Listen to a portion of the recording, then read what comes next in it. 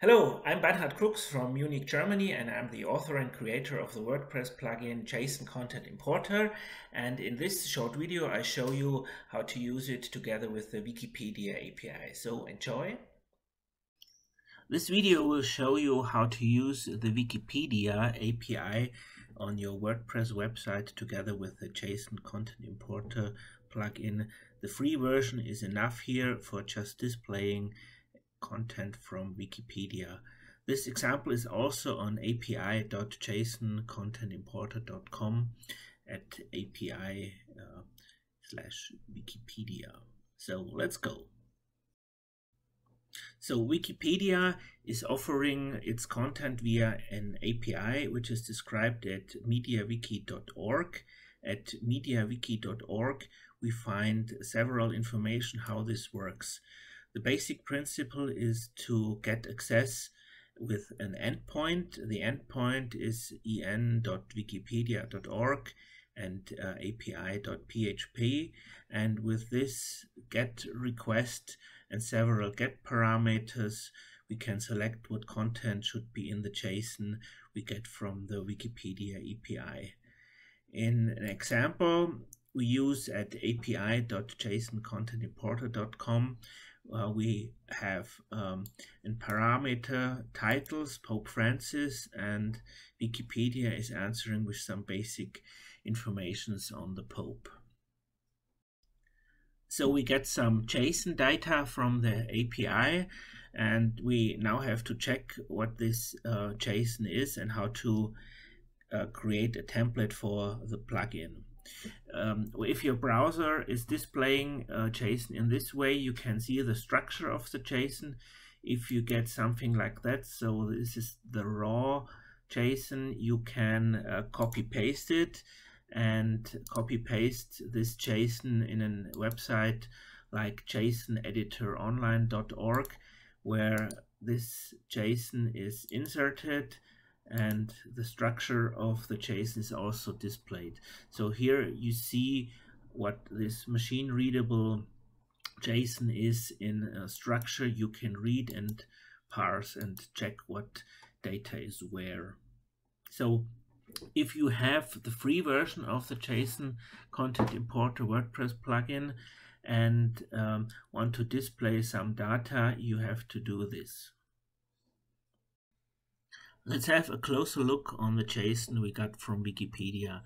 In the browser, we see batch complete and a query, a page, and the first item of the pages is a page ID and the real information we got from Wikipedia.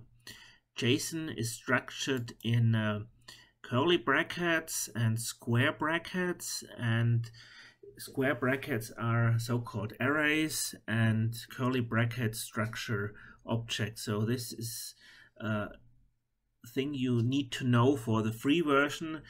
For the pro version, while using uh, the Twig parser, this is uh, less important. So here we use the free version. So we had have to check, is it an object or an array? Unfortunately, this display of uh, the JSON in the browser does not show you array or object.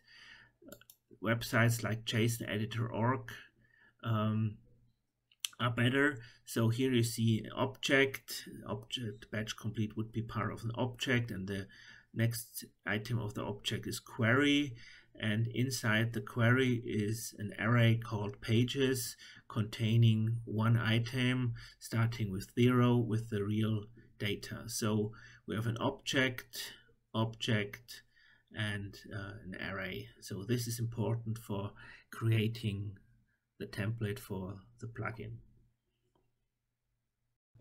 Now I show you how to use the Wikipedia data on your WordPress website. We are now here at video.jsoncontentimporter.com with a new page. Uh, in, on this new page, we insert the JSON content importer um, shortcode. The URL is the URL we have from Wikipedia with the JSON. Just copy paste it here and with this URL we want to show some data. Debug mode is 10 will show us some debug information if the retrieval of the JSON is successful and so on. And for the begin, we just insert test in the text between the shortcode JSON content importer. So that's the first step. Let's have a look at the preview of this page. The page shows us, okay, we're here at um, WordPress video .jsoncontentimporter.com we get with this URL this JSON so this JSON here. And in the end we get tests. So we now know the retrieval of the page of the JSON is successful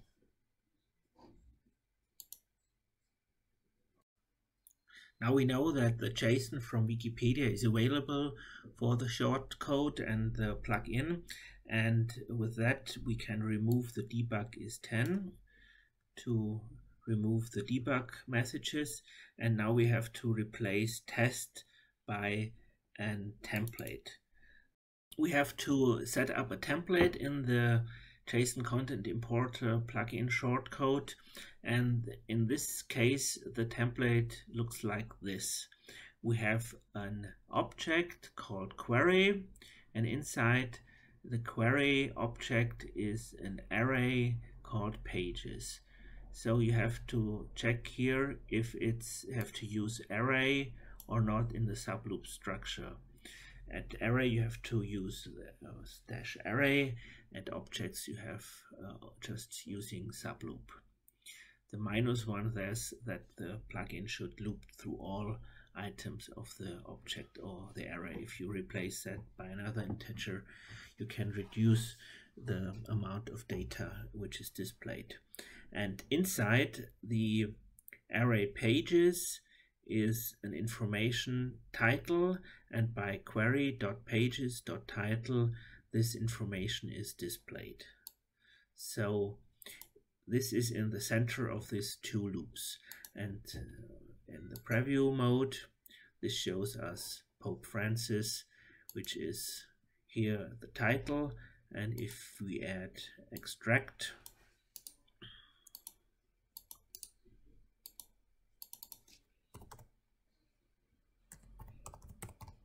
extract we also get more information.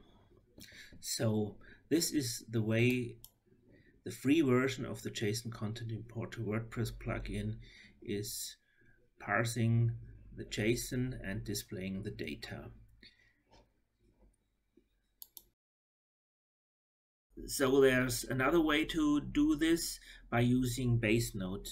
At base node is query inside the shortcode as a shortcode parameter and then you do not need the subloop with the query and not the query dots at the template.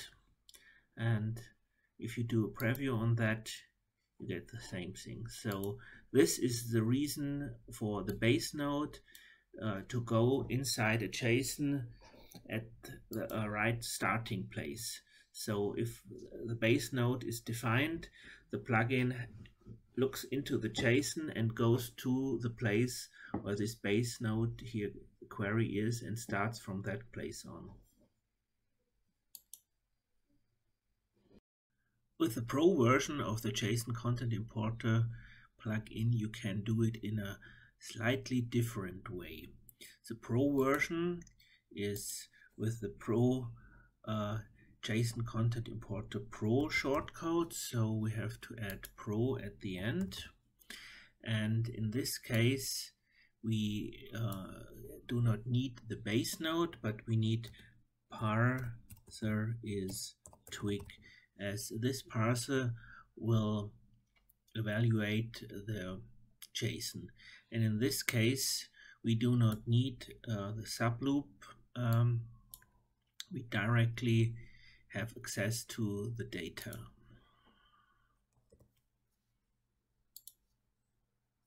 The syntax is a little bit different to the free version parser. It's a, a double curly break. So in this case, we can try that. As you see, there is an error. This error is caused by um, using an array here. So we have to specify what kind or what, what item of the array should be used. And here we need query dot pages. So the first error. And now we have a preview and see the data as we seen it in the free version. So the syntax of the pro version is much more simple and the twig parser allows to have that that structures like if then else and something like that